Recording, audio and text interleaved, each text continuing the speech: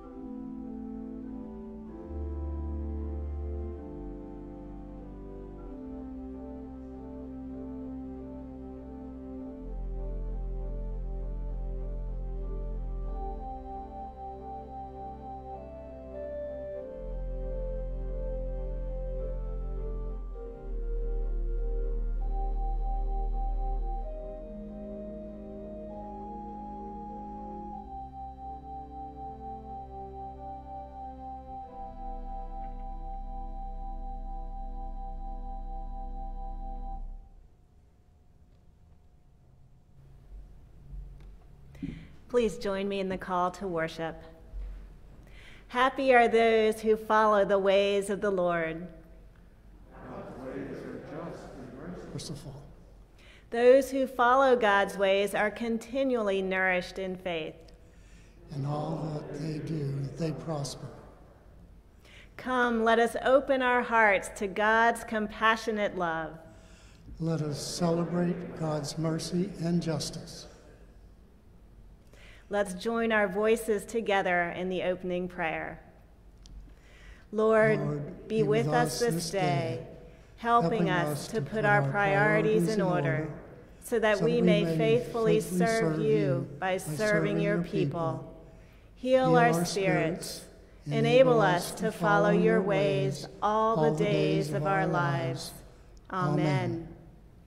And now I invite you to stand as you are able for our opening hymn, Lord, Speak to Me, number 463.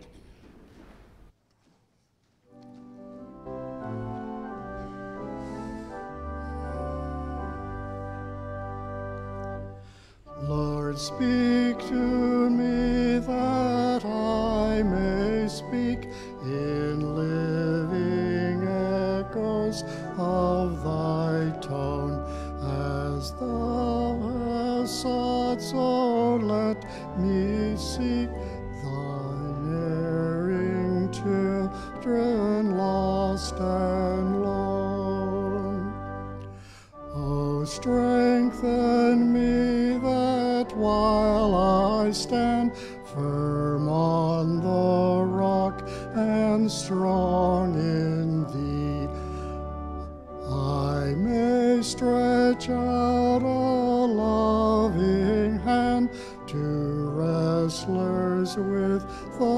the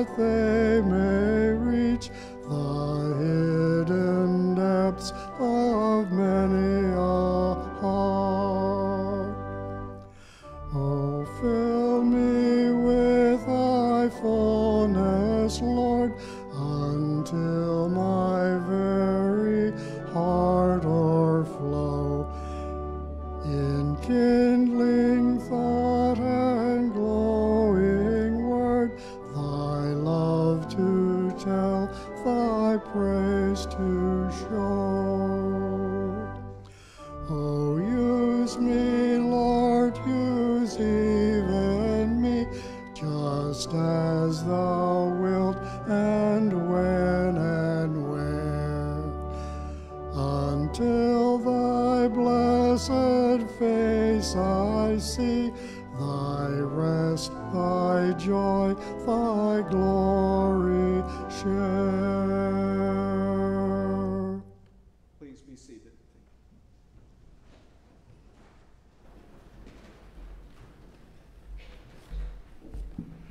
morning, friends. Each one of us has a unique story to tell about our experiences with race or racism. Taking time to reflect on these experiences and sharing them with others is part of learning and growing together as God's beloved community. I give thanks to God for the courage and the honesty of the We Rise United team members who have been sharing their stories in group meetings and during worship. And I invite each one of you to consider your own thoughts and experiences with racial justice and injustice in the light of Christ's love. As we engage in these times of sharing, you might feel pain, confusion, hope, or healing. Please reach out to Pastor Jim or me if you are struggling, or if you have a story of your own to share, or questions to ask. All of you are also welcome and encouraged to attend the next We Rise United meeting on Sunday, October 11th at 1:30 using the church Zoom link. And now it's a blessing and a privilege to introduce Carol Rose as she shares her story with us this morning.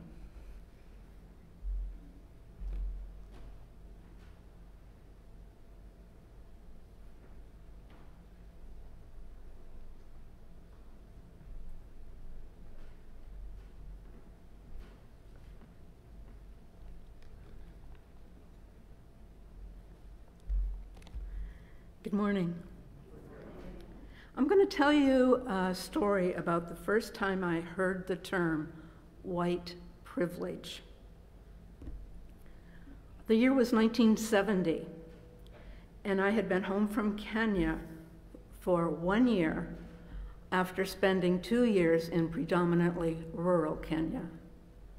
One year at Boston University had not helped me stop feeling like a total stranger in my own culture and country.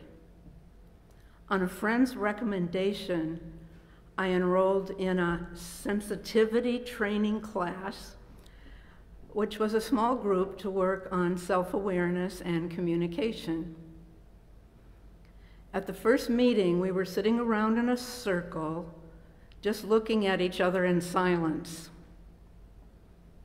A black woman walked in, looked at the group, and said, Oh, you are all white, and I'm the only black. Some participants said in unison, I really didn't notice. As she walked out of the room, she replied, Not noticing color is your white privilege. When you're black, you are always aware and you always notice. And you can tell that after all this time, she made a big impression on me.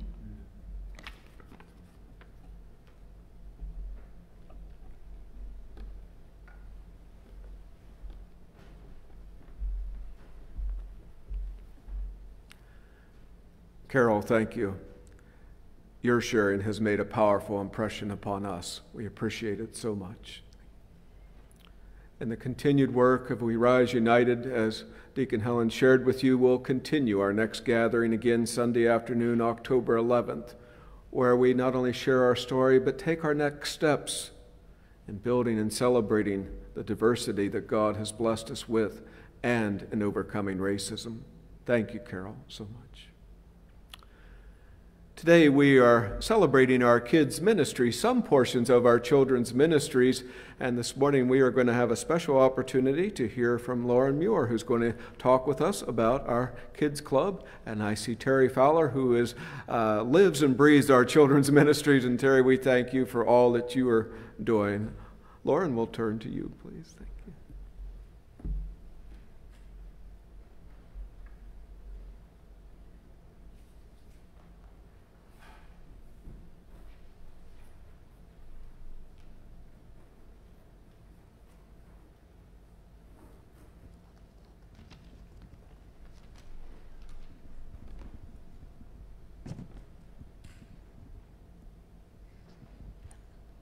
Hi, uh, my name is Lauren, and I've been a returning member of Kids Club for uh, six years now.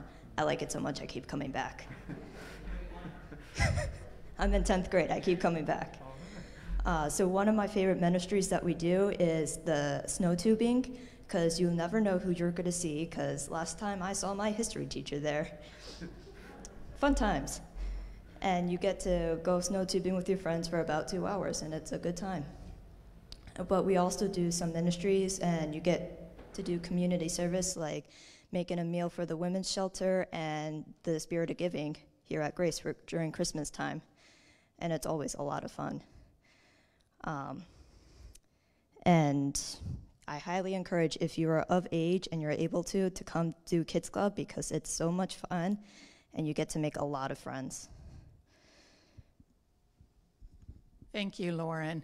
Uh, as Lauren said, Kids Club is a ministry that typically starts in fourth through sixth grade but doesn't end.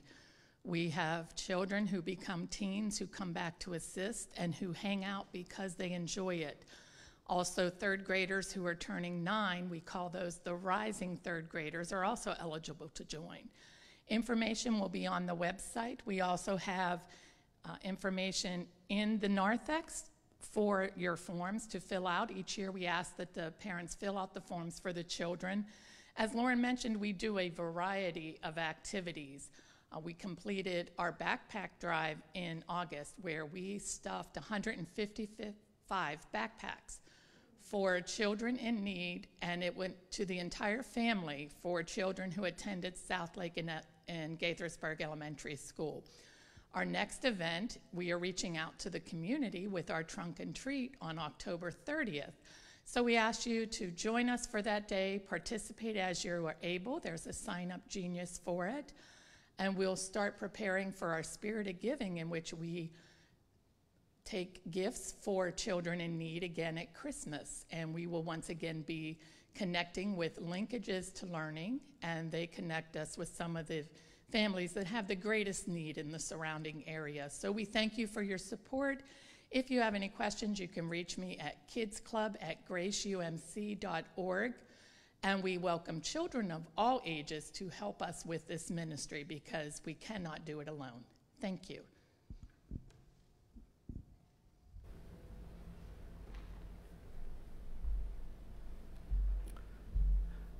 Thank you, Terry and Lauren. Thank you so much for the sharing and for the opportunity for our children to gather together. Another part of our children's ministry is our children's music ministry. And at this time, we're going to have a special music from our M&M singers.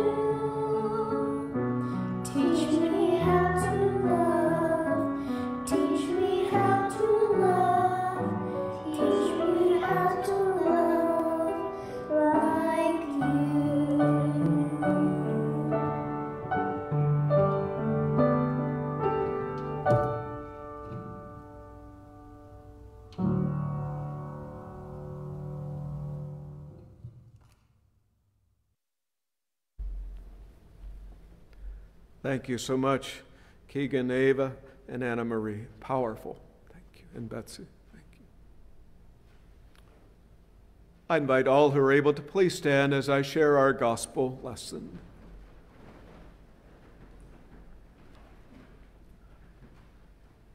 A reading from the Gospel according to Mark, the ninth chapter, beginning with the 30th verse. They went on from there and passed through Galilee. He did not want anyone to know it, for he was teaching his disciples, saying to them, The Son of Man is to be betrayed into human hands, and they will kill him, and three days after being killed, he will rise again. But they did not understand what he was saying and were afraid to ask him. Then they came to Capernaum, and when he was in the house, he asked them, What were you arguing about on the way? But they were silent, for on the way they had argued with one another who was the greatest. He sat down, called the twelve, and said to them, Whoever wants to be first must be last of all and servant of all. Then he took a little child and put it among them. Taking it in his arms, he said to them, Whoever welcomes one such child in my name welcomes me. And whoever welcomes me welcomes not me, but the one who sent me. This is the word of the Lord. Thanks be to God. Please be seated.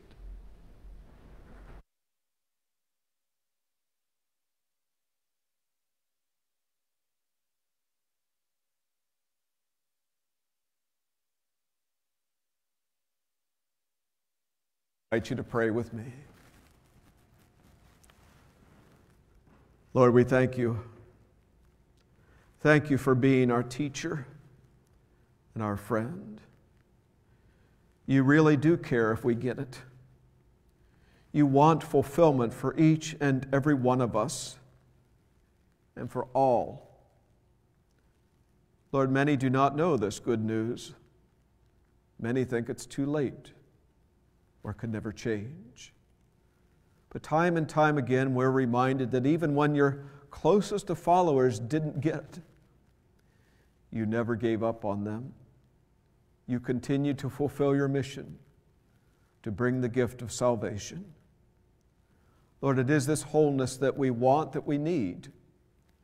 And pray that through this time of reflection upon your word, that your Holy Spirit will do just that do in us what we could never do for ourselves, and that is make us whole. By your grace, you have invited us here, and through grace, the journey continues. Allow your Holy Spirit to use this time to your honor, to your glory, we pray, for it's in Jesus' name we pray. Amen. Starting this month, the Baltimore Washington Conference that we are part of and the Peninsula Delaware Conference are now being aligned, and Bishop Easterling will be leading both annual conferences. I feel like this is where I came in because when I first began seminary and served as a student pastor, I was assigned to the Peninsula Delaware Conference under then Bishop Joe Yeakel, who just recently went home with the Lord. Bishop Yeakel would often say, Keep the main thing the main thing. In other words, make it about Jesus, everything that you do in ministry. I fondly remember my first congregation serving on the Eastern Shore. This is Ames United Methodist Church uh, in Hobbs, Maryland, and that's right on the corner, and that's just about the town of Hobbs. I'm the second on the right there being seated. Now, I haven't changed a bit, have I, since 1988? No comments, please. In fact, that little entrance area behind us there was built on the church during my time there because prior to that, when you walked in the church doors, you walked in the church. You walked right into the sanctuary. And on a cold winter morning when the winds were blowing, Everyone knew when you arrived. So it was a, a, gift of hospitality that this entrance was, was built and a time capsule placed in it to be opened in, in 2039, to which I have an invitation to return to and pray and plan on being there. What I am learning, what I'm finding out in ministry, is the fact that there are good people everywhere wherever I've had the privilege to serve and to be in ministry, I have met good people, and I think of all the places I've had opportunity to travel. It's been such a joy, such an uplifting experience to meet this wonderful diversity of God's creation and learn about one another. This is a gift. And I celebrate the gift we experience as a congregation in this wonderful diversity and the opportunity to grow and to learn and to hear the powerful testimonies such as Carol shared with us this morning and others have brought. We are learning. We are journeying together. To me, that's what we see happening in Mark's gospel. We're told that Jesus was traveling with his disciples to, to Galilee. And Mark makes it a point to tell us this because I don't think Mark is just sharing with us, well, they, they walked, they traveled, they didn't have cars in, but rather we see that they were journeying together. And that to me is what we are invited to be part of as followers of Jesus Christ, what it means to be a disciple of Jesus Christ is the glorious news that He journeys with us. I loved serving Eastern Shore. One of the first things I was invited to was a crab feast. Now, growing up in Northeast Ohio, we didn't have crab feast. We didn't have seafood much as a staple, rather, red lobster was about as far as one went to experience a seafood. And I must say, the first time I was invited there in uh, Hooper's Island and, and going there, I wasn't so sure when I saw this brown paper being rolled out on the table there and this bushel of crabs being dumped right there and people putting their hands in it just began to, uh, this art of, of picking the crabs and, and consuming them. I confess that first time I ordered the all you can eat fried chicken and sweet corn instead of indulging in this practice. Of course, in just a few minutes, I had consumed my meal. I, I was done. But what I learned was a crab feast. They had just begun. You see, it wasn't so much about eating the crab meat, and I've since learned to appreciate it, and it's very good. It's the experience. It's being at table together. It's being in one another's presence. And I think that is so important in our discipleship, that time together. That's what Jesus was offering his disciples as they journeyed together. He was offering some very powerful teachings. He was telling them, after all, he, for the second time about his passion, how he was going in Jerusalem, how he was going to suffer and die and rise again. And they were very quiet. They were afraid. You can't blame them. Perhaps you are here today viewing this service here in person. Maybe you carry fear in your life fear of what's happening with COVID and variants, fears of what's happening with loved ones or world events. We don't have to go back to biblical time to name fears. We could spend the remainder of this time naming the fears that we have. But notice what Jesus did, how he preceded them, giving them this powerful teaching, even though fear may have been getting the best of them in the moment, Jesus was still there for them. That grace that goes before us.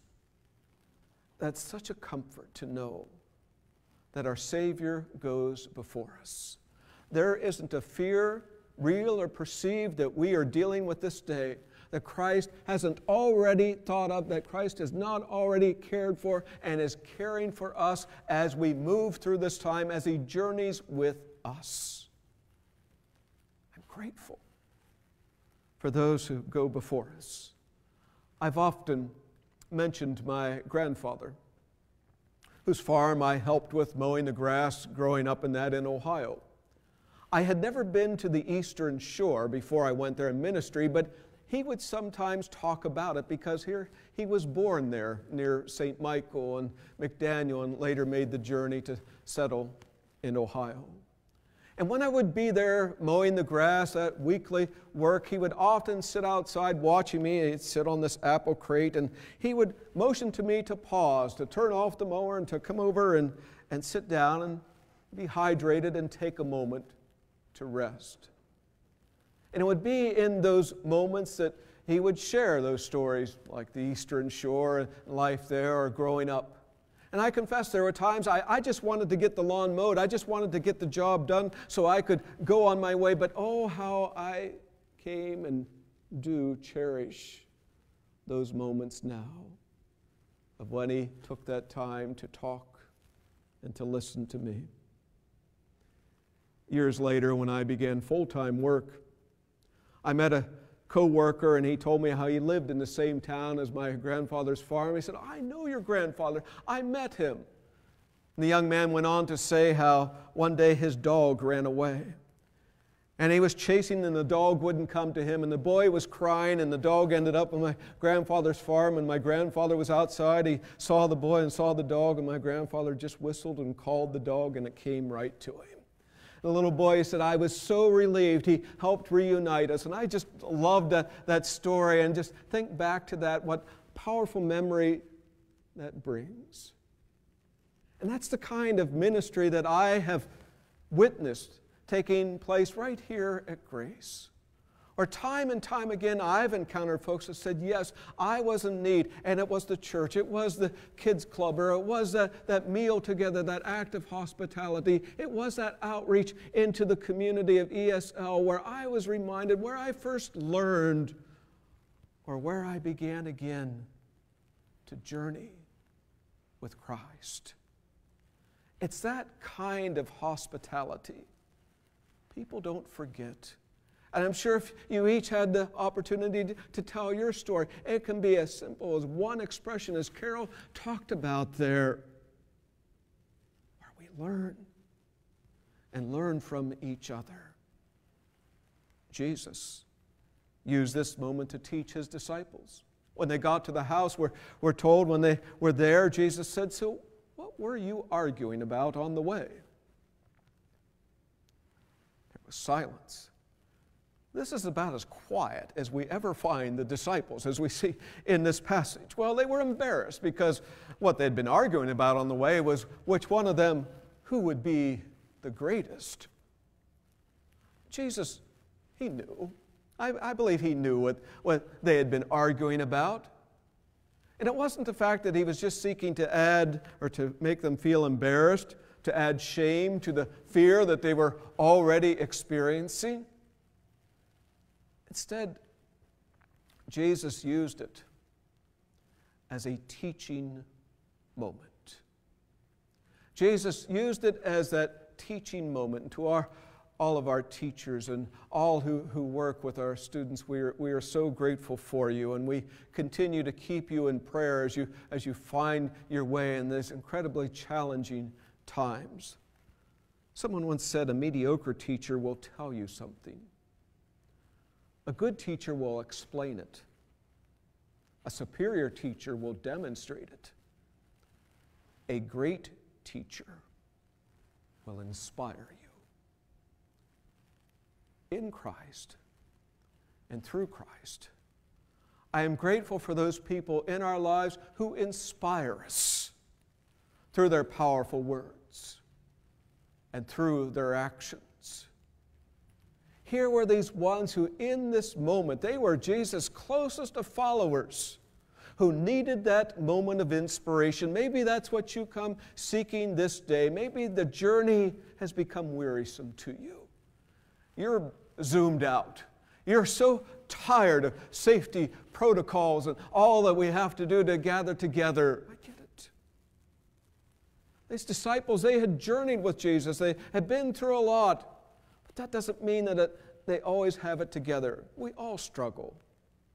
Well, it was just a couple of weeks ago, I was, there was a decision I had to make, and it was really weighing on my heart as to what was the, the right thing to do. And I, was, I had prayed about it, and it just wasn't becoming clear to me. I had taken our van for an oil change. Again, it was my grandfather because whenever I used his lawnmower or any machinery, he said, Jimmy, always check the oil. Oil's cheaper than machinery, he would drill into my head. So I, I've been good about getting oil changes and that. So I went for that and I thought, well, while I wait, I'll go to this little cafe across the street, waiting for the van to be finished, and think and pray some more about this decision. Well, I went over there, here sat two of my colleagues who were eating outside and said hello to them. They invited me to join them. I said, No, no, no, you planned your lunch. You didn't. Pl-. No, please. And so we sat down together. And somewhere in that conversation, I couldn't share what exactly it was I was struggling with, but in that conversation, the answer that one gave to the other came the teaching that I needed to hear and the clarity that I had been searching for became known to me. That was a teaching moment to me where God is at work in this journey, this journey where you don't always have the answers, they're not always crystal clear. God is still there for us as Jesus was there for his disciples. It was the great Methodist missionary and teacher, E. Stanley Jones he writes this account. E. Stanley Jones was once described as the Billy Graham to the country of India. His work with Gandhi and his work of spreading the good news. In fact, their daughter, Eunice, married to Bishop James Mathews. I had the privilege to, to meet her and for their sharing. She once shared how it was Dr. Martin Luther King Jr who said to E. Stanley and thanked him for teaching him the methods of nonviolence that would be applied to the civil rights movement. Scholar, professor, pastor, world known, Nobel Peace Prize. Yet, in this account, hear what E. Stanley Jones had to say. He writes the following. I was running under cloudless skies, and then I suddenly tripped, almost fell, pulled back this side of sin, but was shaken and humiliated that I could come that close to sin. I thought I was emancipated and found I wasn't. I went to the class meeting. I'm grateful that I didn't stay away. I went, but my spiritual music had gone. I had hung my harp on a weeping willow tree. As the others spoke of their joys and victories of the week, I sat there with tears rolling down my cheeks. I was heartbroken. After the others had spoken, John Zink, the class leader, said, Now, Stanley, tell us what is the matter. I told them I couldn't. But would they please pray for me? They fell to their knees and they lifted me back to the bosom of God by faith and love. When we got up from our knees, I was reconciled to my Heavenly Father, to the group, and to myself. I was reconciled. The universe opened its arms and took me in again. The estrangement was gone. I took my harp from the willow tree and began to sing again. That powerful class meeting, that practice of hospitality even though Stanley couldn't tell them what it was exactly that was going on, they prayed with him. Do you have such a group?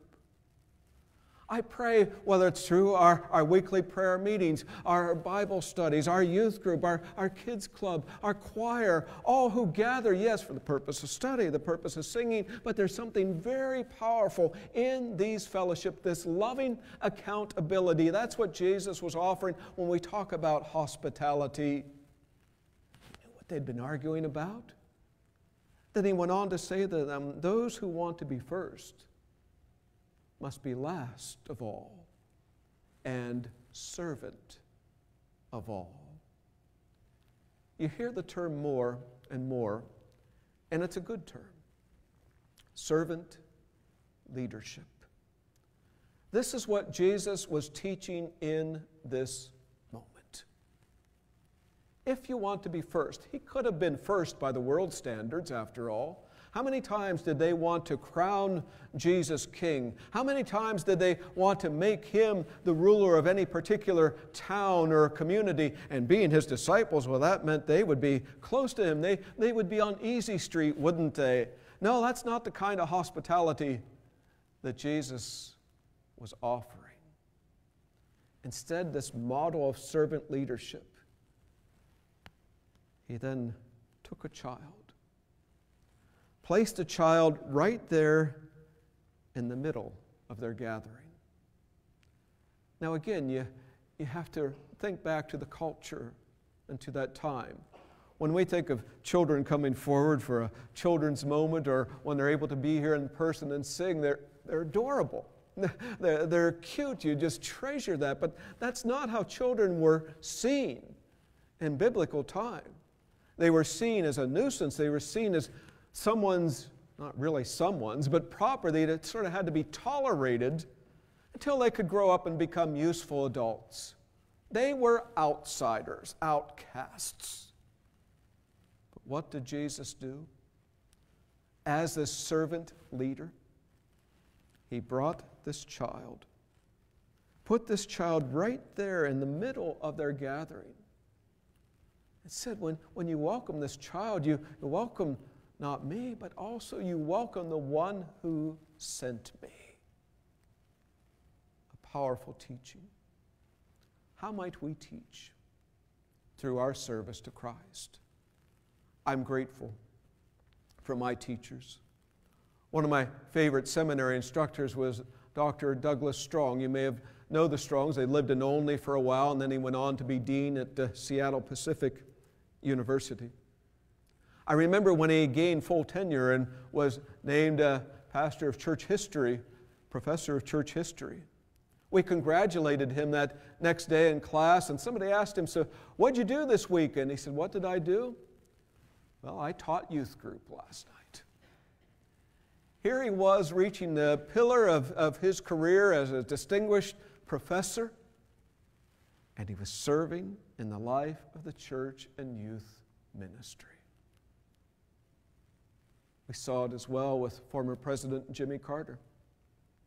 Well into his 90s. Still teaches, some of you have been to it, and it must be a great experience, his adult Sunday school class that he would teach. Here's, a former president teaching the lesson.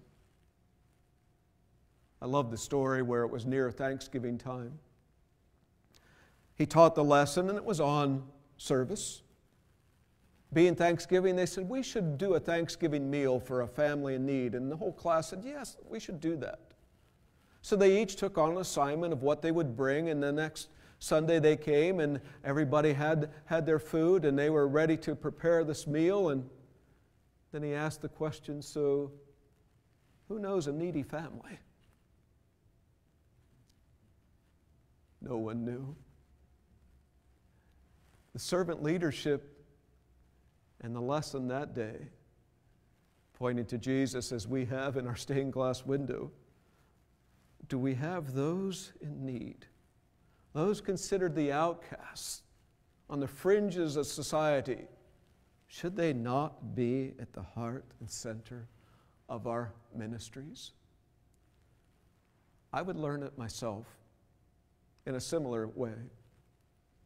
I was helping with a youth group, and we decided we would take on, as we do with the angel tree Terry mentioned for Christmas gifts, we were going to do Thanksgiving meals and did that as a congregation.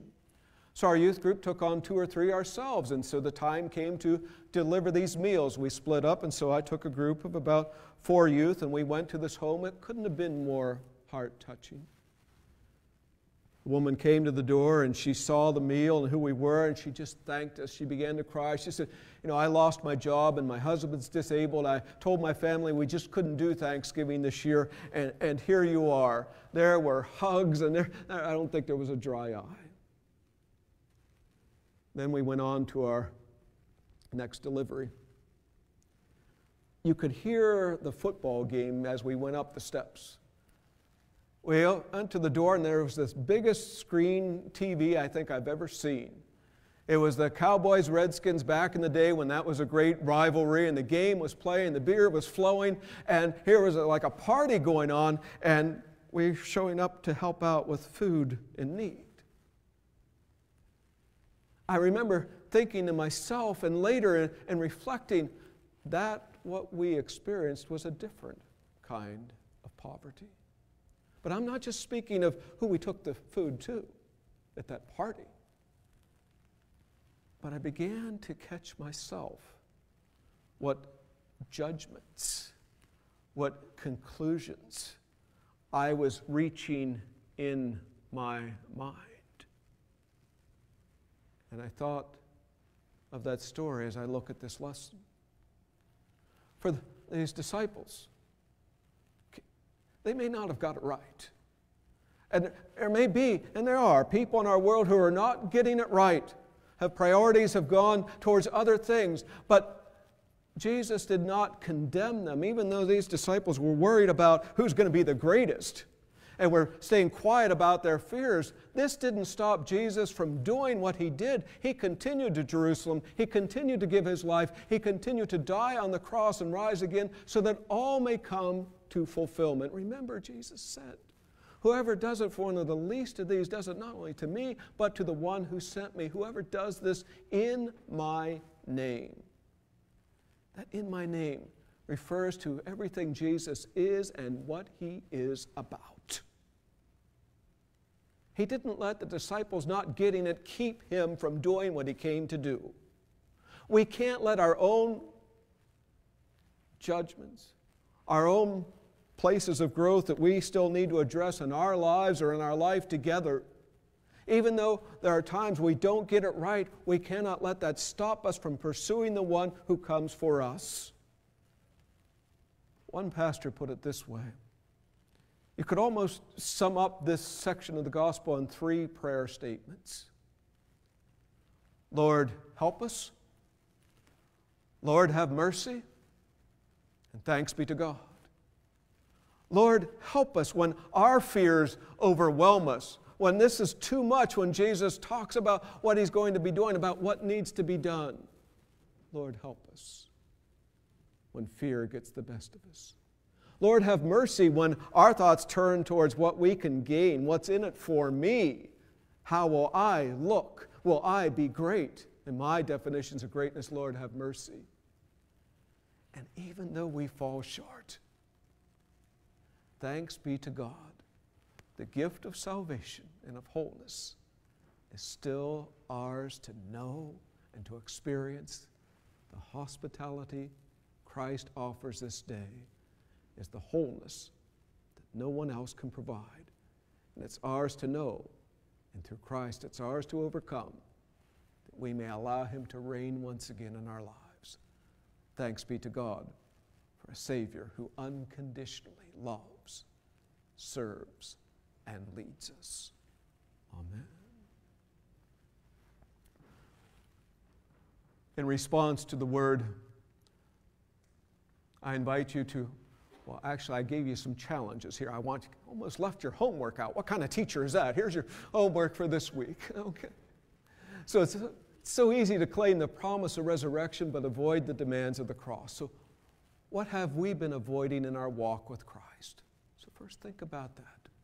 What have we been avoiding in our walk with Christ? Secondly, Jesus offers new categories for determining success and failure, winning and losing, achievement and fulfillment. Reflect on what it does truly mean to be great according to Christ. What does it mean to be great according to Christ? And lastly, Jesus teaches and demonstrates servant leadership in the community by receiving a child. How can we each grow a relationship with someone who is vulnerable or considered by many to be an outsider? I think of our work. There'll be a gathering today at 1:30, same Zoom you got here about our work with the Afghan refugees, for example. How can we grow such a relationship? Now, in response, let us join together as we offer our prayer of confession. Let us pray. God of patience and mercy, we come to you offering lip service to serving you. But when things get difficult, When we are, called, to do, something, which is hard, for us, we shy away from the duty and the opportunity. We turn our back on service out of fear of failure. Forgive us, gracious Lord. Heal our fears and our weaknesses. Strengthen us and give us courage to truly be your disciples, not counting the rewards, but rejoicing in the work. In Jesus' name we pray. Amen. Hear these words of assurance. This day the Lord reaches out to you in healing love and compassion. Receive the blessings which God offers to you. Be healed and made whole. Be ready to serve. Amen. We give thanks for the opportunity. We have our offering plate here for those in person and also the opportunities to give online. One of the ways we give back, one of the ways we participate in the journey is through our weekly offerings. We give thanks for your faithfulness. Your faithfulness is making a difference. Your faithfulness is help bringing the message of Jesus Christ to a world living in fear. I give thanks for your giving. Amen. At this time, Deacon Helen will be leading us in our morning prayer.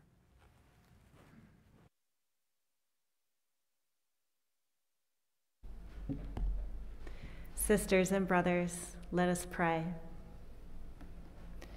Creator, on this day, your day, we wake in your love. We rise in your love. We come together in your love. Help us to stop competing, comparing, and complaining. Help us to make room for one another and our neighbors as we travel together, serve together, and grow together. Help us to come home, to be at home, to welcome others home with your love. Jesus, on this day, your day, we cry out to you. There are many in this church and in our community who are bearing burdens. Help us to carry them together. In your mercy, hear our prayers and move hearts for people who are suffering from illness, injustice, loss of livelihood, loss of loved ones, loss of hope. For communities experiencing change, crisis, or uncertainty. For those who travel, those who are seeking or settling into new homes, and for those who are lost. As we encounter situations of suffering, help us to ask why it is so and how we can help. Lord, we continue to pray for students, teachers, staff, and our school communities as they adjust to another school year like no other. We pray for all who are facing health concerns, health decisions, and health procedures.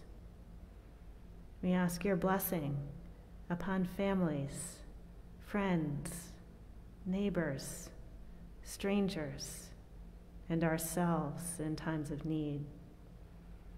We pray for healing, for peace, and for your example of hospitality to take hold more and more in our lives and in the world.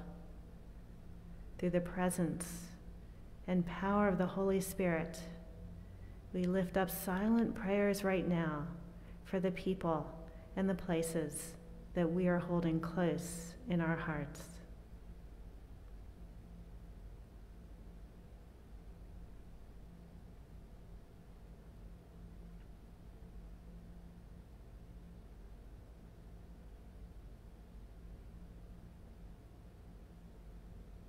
Holy One, on this day, your day, we give you thanks. Thank you for the people, the ministries, and the mission of your church, and for all who serve with your love. Thank you for growing us and guiding us in your love at all of the ages and stages of our lives. Thank you for the opportunity and the courage to say yes to you, to welcome you into our hearts each and every day. Thank you for welcoming us just as we are, and for opportunities to welcome others just as they are. Thank you for the life giving gift of these words as we pray to you. Our Father, who art in heaven, hallowed be thy name.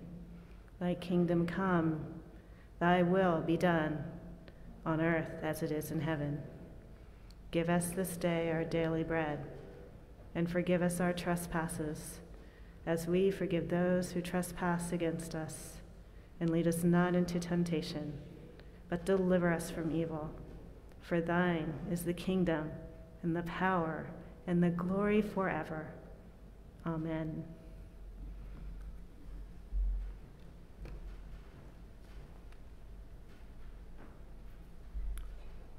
Invite all who are able to please stand as we join in singing our closing hymn.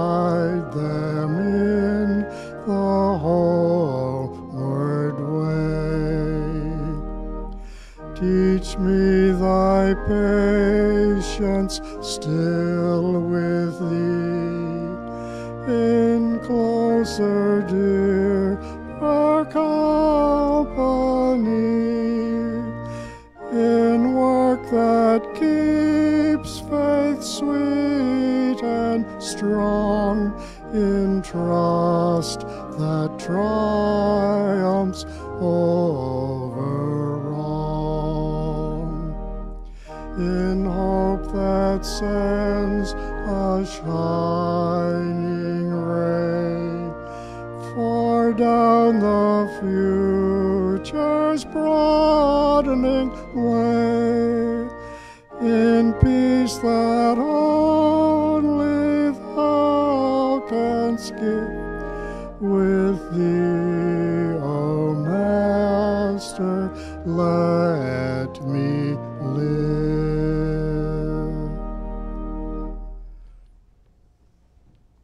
Please be seated.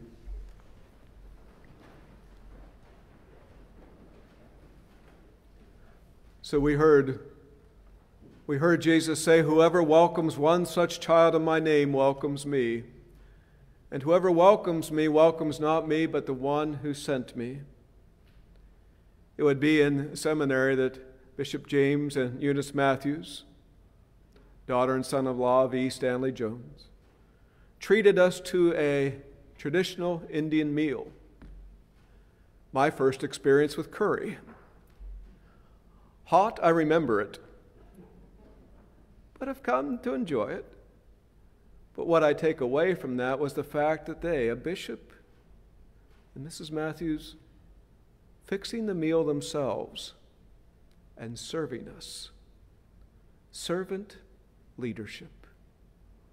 What opportunity might you have this week to help a neighbor, to reach out to a friend, to pray for those who come to mind, to learn more about What's been troubling and causing fear in your life? Know you're not alone, but Christ goes with you and will see and journey with us. And in the end, we will all overcome and know his wholeness. Hear these words ascending forth. Go in confidence and peace, joyfully serving the Lord who walks with you. Bring hope to the hopeless, joy to those who sorrow, peace to the afflicted. Be true witnesses to the love of God through Jesus Christ. Amen.